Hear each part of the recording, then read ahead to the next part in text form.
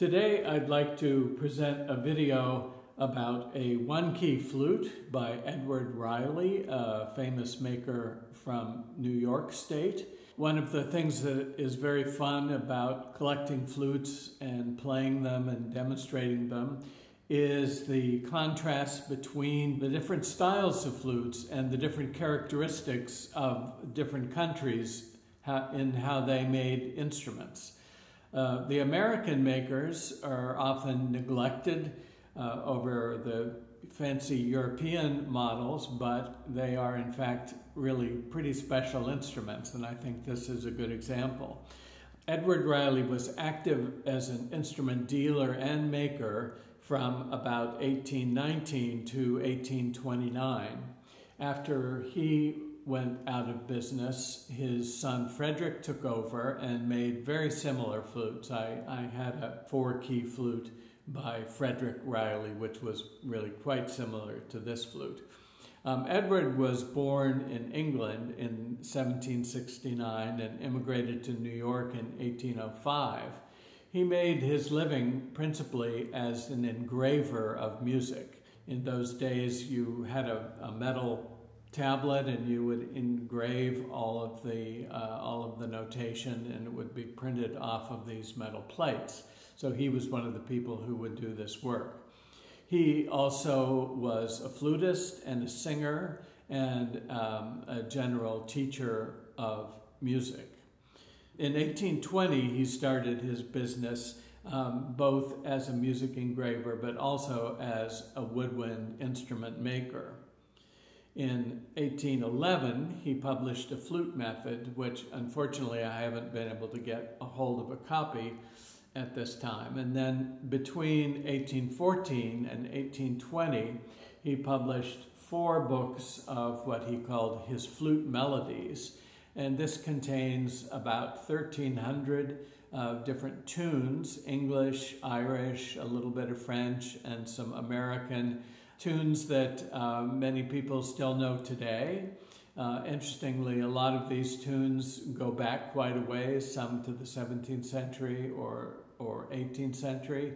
They always get changed a little bit as they're passed on, but these versions that Riley uses are really quite nice. One of the things I always try to do when I demonstrate flute is to match up the music with the particular flute, to have music that really makes sense on that flute and would have been music that somebody from the time who owned this flute would have played.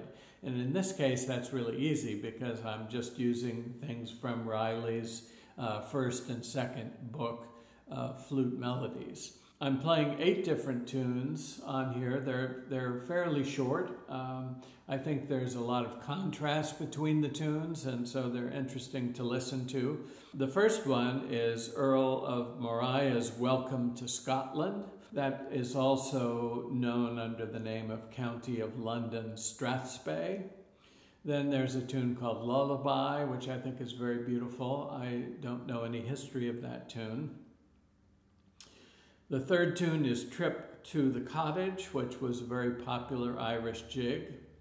Then Durandarte and Belerma, which was a Spanish tune that dates back to the 18th century. The Maid of Seaton Vale, which was a Scottish ballad, also from the late 18th century. Paddy Carey's Fortune, which is also known as Irish Promotion, written by J. Whitaker a quite well-known tune called O Ponder Well, which was from the Beggar's Opera of 1729. It actually, the, the tune is probably older than that, but it became very popular once it was in the Beggar's Opera. Finally, one called Cowden Broom, which is also known by the name Bonnie May. And it's a Scottish ballad that dates back into the 17th century and it was included in Playford's English Dancing Master. It's quite interesting to see the diversity of these tunes, which were kind of the bread and butter of American tune playing. Another reason that Edward Riley was so important is that he had working for him the two makers John Firth and William Hall, who were uh, to go on to marry his two daughters, and they went on to form probably the most successful flute businesses in the next generation uh, of American flute building. This particular flute, um, I think, is quite special. It came to me just recently. It was found uh, by someone in Vermont in a blanket chest that they bought at a sale or an, an antique store or something, um, mixed in with a bunch of cloth and newspapers and stuff, was this flute as well as a fife. Uh, the fife is interesting in that it's not a normal B flat fife, it's a C fife, so it's a, a shorter, brighter, uh, more lively type of fife. But the extraordinary thing about this flute is that it's really in mint condition. It, it looks like, uh, you know, it may have been played a little bit, but nobody has ever messed with it. It has all the original string.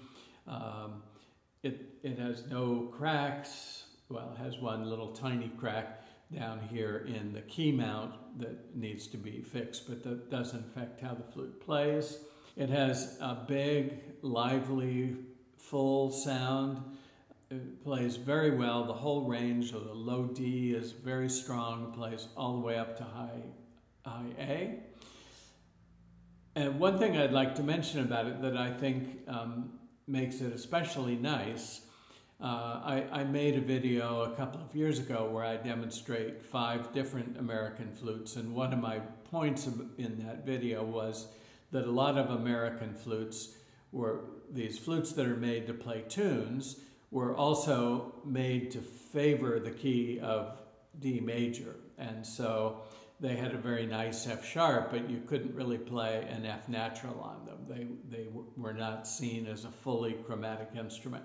This flute is still in the fully chromatic style. Uh, so this can play music that has F naturals in it. It has a few little idiosyncrasies in the tuning. The the third octave D is quite sharp, and a few other notes are, are a little bit funny, but it, um, it's really a great flute. It's very, very fun to play. It has a beautiful embouchure hole. I hope that you enjoy hearing this flute.